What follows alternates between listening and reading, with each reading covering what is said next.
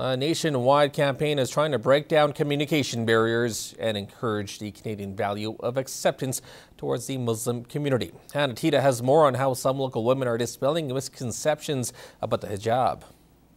A few uh, hate-based crimes were reported in Canada and actually this made the base for launching this campaign. The Je suis Hijabi campaign was launched at the beginning of December and is picking up traction across Canada. Events are being held in countless cities and communities to dispel some of the misconceptions about the hijab.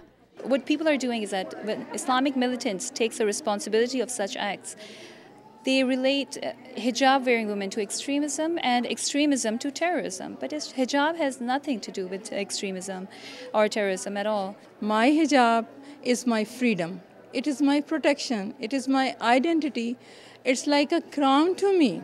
Members of the Lloydminster Ahmadiyya Muslim Women Organization were at Lakeland College to answer questions and pass on knowledge surrounding their identity.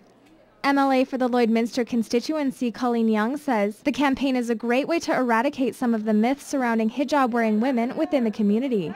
As we all know, the you know the amount of media attention that has been around uh, some of the tragedies that are happening, um, not just in uh, the states or in Canada, but globally.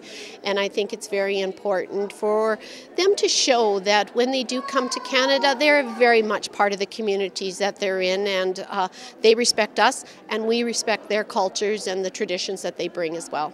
Hannah Tita, Newcap News.